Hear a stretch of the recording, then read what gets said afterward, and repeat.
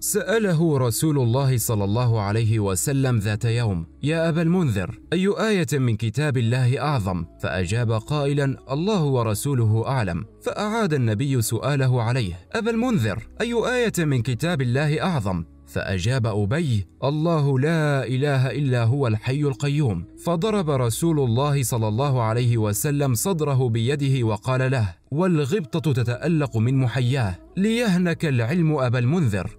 إن أبا المنذر الذي هنأه الرسول الكريم بما أنعم الله عليه من علم وفهم هو أبي بن كعب الصحابي الجليل أنصاري من الخزرج. شهد بيعة العقبة وبدرا وبقية المشاهد وبلغ من المسلمين الأوائل منزلة رفيعة ومكانا عالية حتى لقد قال عنه أمير المؤمنين عمر رضي الله عنه. أبي سيد المسلمين وكان أبي بن كعب في مقدمة الذين يكتبون الوحي ويكتبون الرسائل وكان في حفظه للقرآن وترتيله إياه وفهمه آياته من المتفوقين. قال له رسول الله يوما يا أبي بن كعب إني أمرت أن أعرض عليك القرآن وأبي يعلم أن رسول الله صلى الله عليه وسلم إنما يتلقى أوامره من الوحي. هنالك سأل رسول الله صلى الله عليه وسلم في نشوة غامرة يا رسول الله بأبي أنت وأمي وهل ذكرت لك باسمي؟ فأجاب الرسول نعم باسمك ونسبك في الملأ الأعلى. وإن مسلما يبلغ من قلب النبي صلى الله عليه وسلم هذه المنزلة لهو مسلم عظيم جد عظيم. وطوال سنوات الصحبة وأبي بن كعب قريب من رسول الله صلى الله عليه وسلم ينهل من معينه العذب المعطاء. وبعد انتقال رسول الله إلى الرفيق الأعلى ظل أبي على عهده الوثيق. في عبادته وفي قوة دينه وخلقه وكان دائما نذيرا في قومه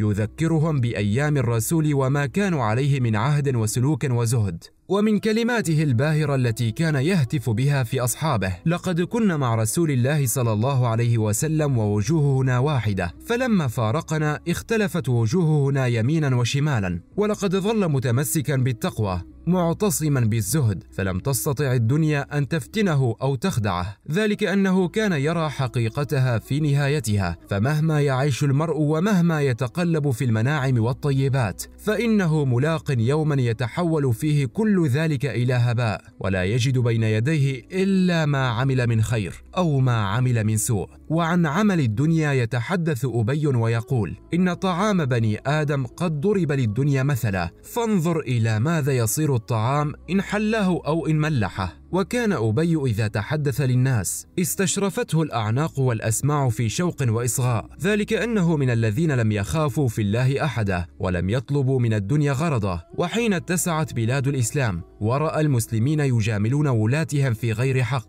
وقف يرسل كلماته المنذرة. هلكوا ورب الكعبة هلكوا وأهلكوا. لو وقف الآن بيننا فماذا سيقول؟ ثم يقول أبي أما إني لا آسى عليهم ولكن آسى على من يهلكون من المسلمين وكان على كثرة ورعه وتقاه يبكي كلما ذكر الله واليوم الآخر وكانت آيات القرآن الكريم وهو يرتلها أو يسمعها تهزه هزا وتهز كل كيانه. وعلى أن آية من تلك الآيات الكريمة كان إذا سمعها أو تلاها تغشاه من الأسى ما لا يوصف. وتلك الآية هي قل هو القادر على أن يبعث عليكم عذابا من فوقكم أو من تحت أرجلكم أو يلبسكم شيعا ويذيق بعضكم بأس بعض. كان أكثر ما يخشاه أبي على الأمة المسلمة أن يأتي عليها اليوم الذي يصير بأس أبنائها بينهم شديدا وكان يسأل الله العافية دوما ولقد أدركها بفضل من الله ونعمة ولقي ربه مؤمنا وآمنا ومثابا.